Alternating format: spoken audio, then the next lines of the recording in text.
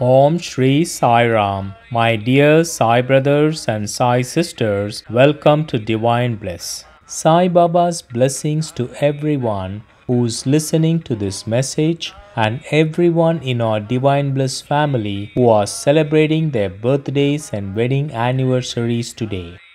Sai Baba says, My dear child, you are currently facing so many challenges from all directions.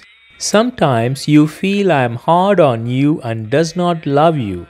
My dear child, the truth is I love you so much and I know you're worth more than what you are right now. I know exactly what you need, who you need, how much you need and when you need it. Trust my words.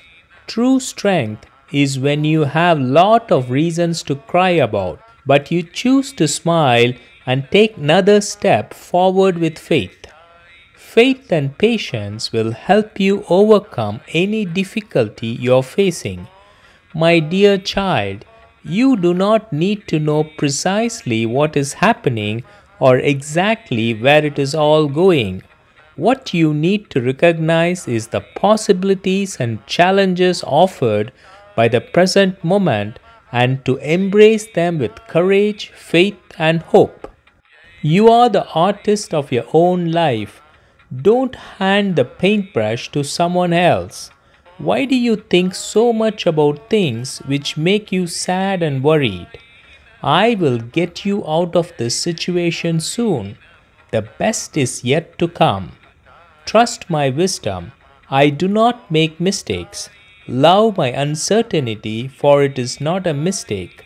Everything happens as per my intent and will. Nothing happens without my will. When thinking about life, remember this no amount of guilt can change your past, and no amount of worry can change your future. It is a good feeling when I show up the moment you call me, but the best feeling is when you realize that I have never left you in the first place. When you are tired, I will give you the energy. When you are discouraged, I will give you courage. When you are afraid, I will give you hope. You are so special to me, my child. My grace is always with you. My love and light will surround you. My kindness will spread for you. I will protect and fill your life with love, peace, and joy. My dear Sai sisters and Sai brothers, let us bow at the lotus feet of our Sadguru Sri Sai Baba with Shraddha and Saburi. Peace be to all. Om Shri Sai Ram.